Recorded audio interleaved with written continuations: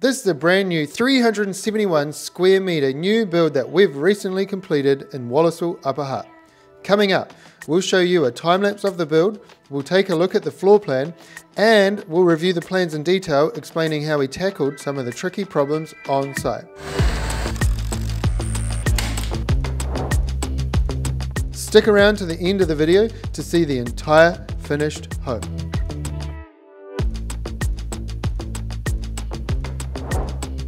Would be real common for a client to be spending between a year and two planning and consenting and purchasing the land and all of those things before we even show up on site. We like to meet our clients as early on as possible in that process and work with them while they go through the consenting and planning phase. Let's talk about this section. It is a 1200 square meter lot in a new subdivision area here in Upper Hutt. One of the larger lots, it also comes with its very own protected totara tree. This dictated what could be built on the land. You can see here the totara tree is marked here and that is a no build zone. The house is tucked over here and the outdoor living is going to go here which will get the afternoon and evening sun and a second garage will go over here on the other side of the totara tree. Reasonably flat site, and one of the first things we did is got to work and cleared all of the grass and prepared the driveway and slab areas. This was a reasonably flat easy site to prepare. The ground was reasonably rocky and we had to take a large amount of that away and replace that with compacted base course. But the good news is this is one site where we didn't need any piles. So once the digger had prepped the base course, we could crack on with the slab. You can see here the foundation design for the main house. We're doing a rib raft slab few ins and outs where there's buttress walls, reasonably large slab, 267 square meter ground floor, and the garage over here was 52 square meters. All up, we're pouring just over 319 square meters of concrete. A lot of boxing, a lot of preparation, nothing too scary for our guys, and they cracked into it, and before you know it, we've got a slab.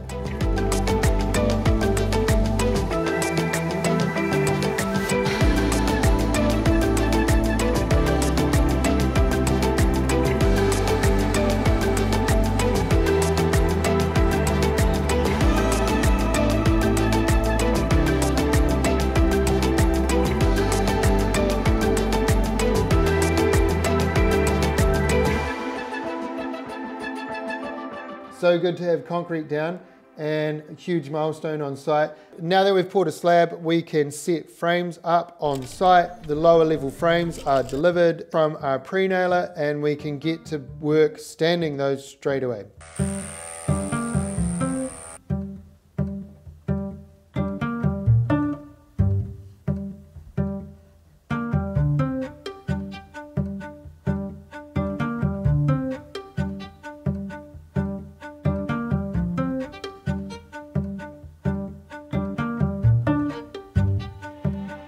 Let's take a look at the floor plan. Coming in the front doors here, your breath is taken away by a large double story entranceway with stairs in the back and a huge window letting in lots and lots of light. Off to the left, we have the living areas and off to the right, we have the downstairs bedrooms. We have a beautifully tiled main bathroom on the left of the hallway here. Two generous sized bedrooms for kids or guests and a downstairs master. The downstairs master has its own tiled ensuite and a very large walk-in wardrobe. Moving down towards the garage, we have a laundry and then we have a workshop area with its own kitchenette, another downstairs bathroom, that's three bathrooms downstairs, and a nice, generous size double garage. You can never make your garage too big. This one is eight meters wide by seven meters deep. Back over on the left of the entranceway, you have your kitchen on the right with a pantry tucked in behind that, huge amount of storage. Dining room in the northwest corner of the building soaks up all of that afternoon sun.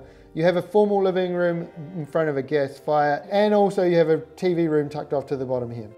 Moving On up the stairs, we have a master suite, huge large room, seven meters deep by four and a half meters wide, large generous walk-in wardrobe, and another tiled bathroom. That's the fourth bathroom of the build and really nice finishing in here. We also have a skylight over the dining area and then over across the driveway behind the protected tree. We have a 52 square meter garage with roller doors and the fifth bathroom on the property its own loo so you don't have to run back to the main house. Idea is, is this to be a bit of a workshop, space to store and work on cars.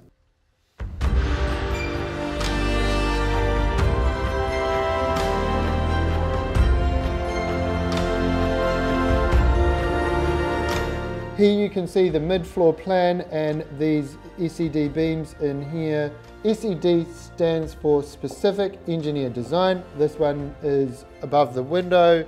There's a big steel beam in here carrying the load of the upper floor because the upper floor finishes above the bathroom and bedroom below. We've got a couple of SED lintels. Lintels go above doors or windows. We also have a beam along here. Again, because the upper floor doesn't finish directly above a lower level wall, this beam takes the upper level floor load, wall load and roof load of this entire wall and spreads it to this point here, this point here, and this point here.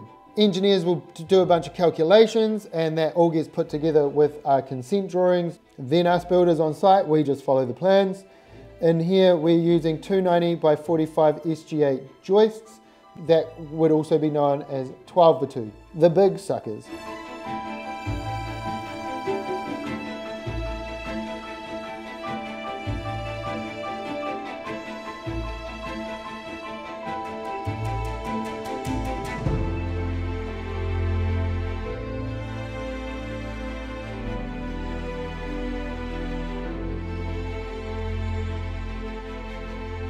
Here you can see the roof plan for the lower level. We have to get all of that in before we can put the scaffold up and start building the upper level.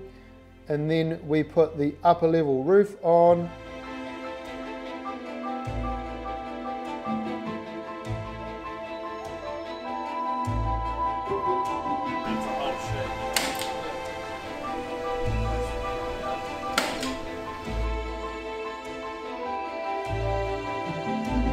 From here, our boys can crack on with cladding. We go pre-wrap, put the windows in, flashings, and this job here was a mix of three claddings, some sections of rock coat on cavity. We have the hard as rock schist, and this was individually laid over fiber cement sheets that we screwed tags into.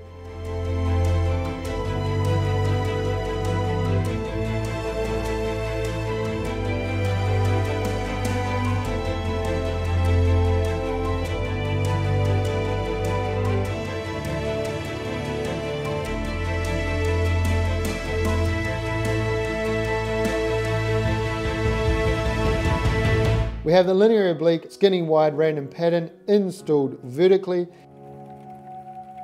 You can see here in the original drawings, it was going to go for a dark look. After driving around a few subdivisions and working with our design team, the client opted to go for a much lighter look. We've gone for a natural bronze looking stone. The weatherboards are painted with Resene White Pointer and the rock coat is a bright white color we think it looks really sharp. Once the cladding goes on, the building is now closed in. This is also the perfect time for you to go ahead and click subscribe and help us build up our following.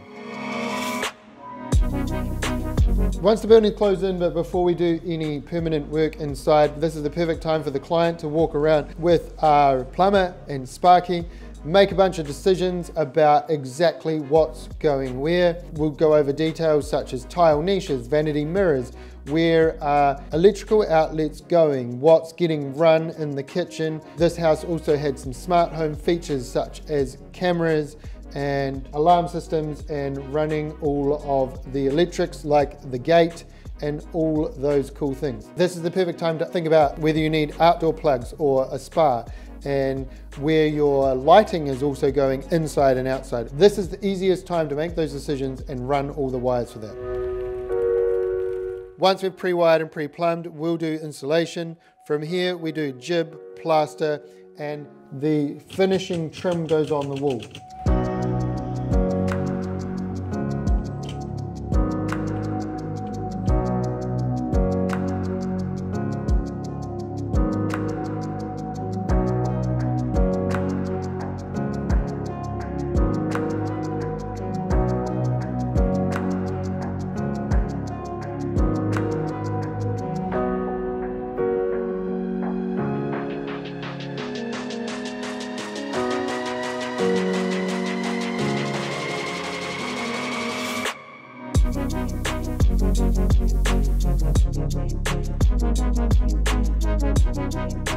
Then we can get the painter in and it starts to really feel like a home.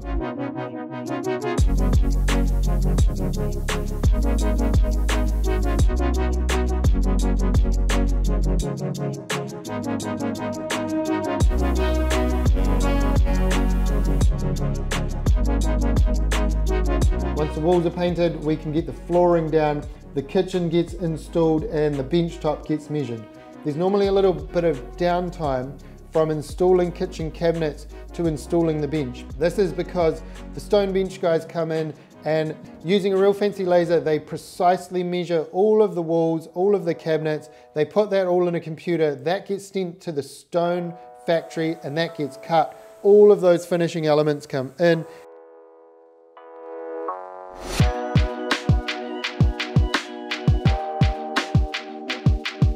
On all our jobs, we like to create a landscaping plan right at the start. It gives our clients a really good direction to go in. We started preparing the concrete driveway area and the massive deck off the dining room.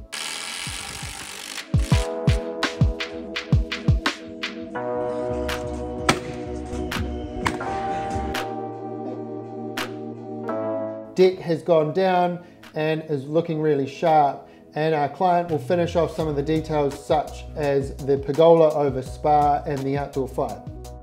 The boys also put up a boundary line fence along the back of the property and we had a really sharp looking fence along the front.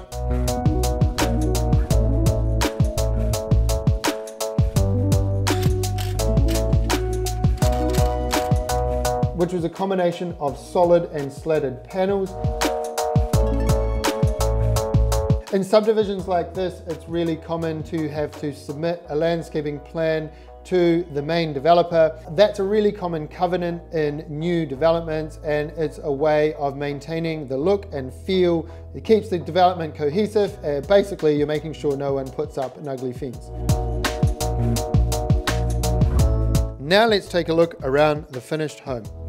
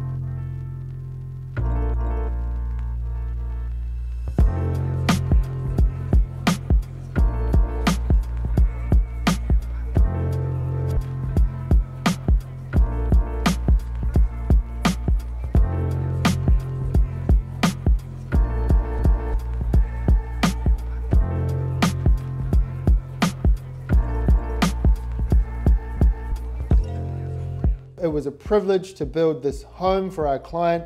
If you haven't, go ahead, click subscribe to follow along with more of our start to finishes.